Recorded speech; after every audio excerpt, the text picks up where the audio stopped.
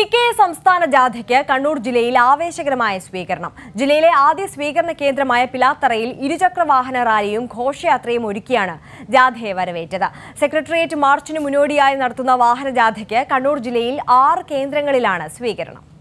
വ്യാഴാഴ്ച കാസർഗോഡ് നിന്ന് ആരംഭിച്ച ജാഥ വെള്ളിയാഴ്ച വൈകുന്നേരമാണ് കണ്ണൂർ ജില്ലയിൽ പ്രവേശിച്ചത്. ആദ്യ സ്വീകരണ കേന്ദ്രമായ പിലാത്തറയിൽ ബാൻഡ് മേളവും മുത്തുക്കുടകളുമായി പ്രവർത്തകർ ജാഥയെ വരവേറ്റു.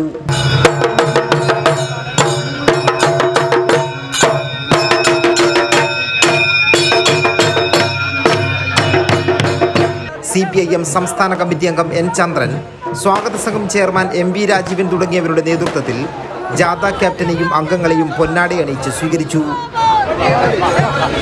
പട്ടികജാതി വിഭാഗങ്ങളുടെ പ്രശ്നങ്ങൾ കേന്ദ്ര സംസ്ഥാന സർക്കാരുകൾ അർഹമായ പ്രാധാന്യത്തോടെ കാണണമെന്ന് ജാഥ ക്യാപ്റ്റൻ കെ സോമപ്രസാദ് പറഞ്ഞു.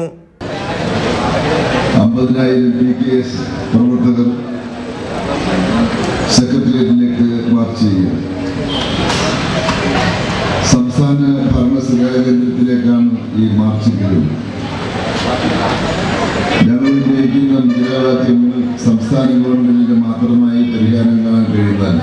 പിലാത്തറ ശ്രീകണ്ഠപുരം തളിപ്പറമ്പ് പാപ്പിനിശ്ശേരി കണ്ണൂർ മട്ടന്നൂർ എന്നീ കേന്ദ്രങ്ങളിലാണ് കണ്ണൂർ ജില്ലയിൽ ജാഥ സ്വീകരണം. തുടർന്ന് ജാഥ വയനാട് ജില്ലയിൽ പര്യടനം നടത്തും. കൈരളി ന്യൂസ് കണ്ണൂർ.